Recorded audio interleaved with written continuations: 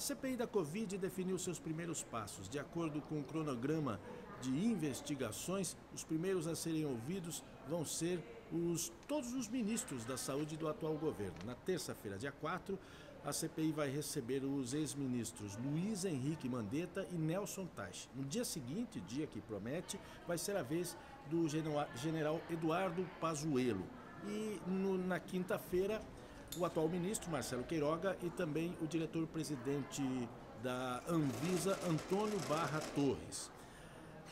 Notícias sobre a vacinação aqui em São Paulo. São Paulo amplia a vacinação contra a Covid-19. Chegou a vez dos idosos com 63 anos de idade. Eles estão sendo imunizados em postos drive-thru e também em unidades básicas de saúde.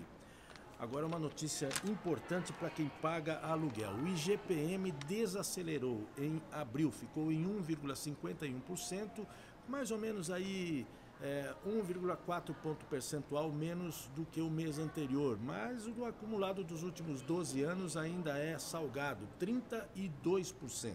O IGPM é conhecido como a inflação do aluguel. É isso, mais informações aqui no portal e nos telejornais da Rede TV.